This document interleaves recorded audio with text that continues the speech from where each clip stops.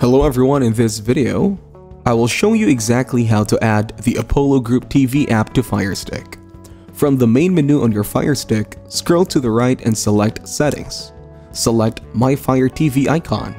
If you are using a television with built-in Fire OS, such as Insignia or Toshiba TVs, you will be looking for the device and software. If you are using a television with built-in Fire OS, such as Insignia or Toshiba TVs, you will be looking for the icon named Device and Software. To enable developer options, for older Fire Sticks, follow steps 3, 4, and 5. For newer Fire Sticks, proceed to step 6. Scroll down and choose Developer Options. Select Apps from unknown sources.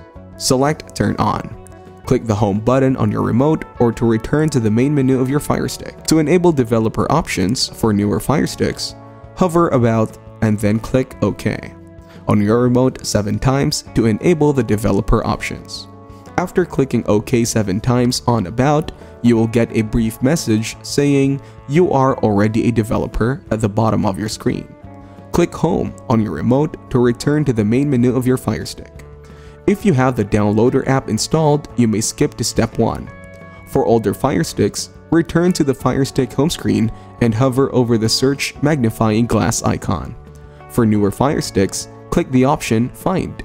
Click the search option. Type in the downloader. Select the downloader app, select download or get button. Select open. Select allow when prompted. In the home menu, tap on the downloader app, press and select OK on your remote to open the pop-up. Enter this code into the home menu and select Go. If you enter the URL correctly, the download will begin. Wait until the download is finished. Select Install. After installation, select Done. This will take you back to Downloader. Click Delete to delete the file. Click Delete again to confirm. Return to the home screen and press Menu. Then scroll down to your apps and channels. Scroll all the way to the left and select See All.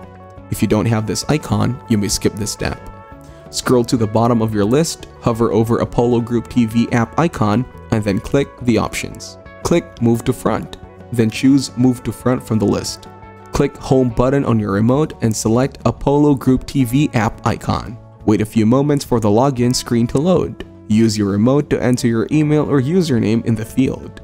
After entering your email or username, Click Next, and then enter your password in the password field. Thank you everyone for watching, I hope you got some value. Make sure to like the video and subscribe to our channel, leave a comment down below, see you in the next one.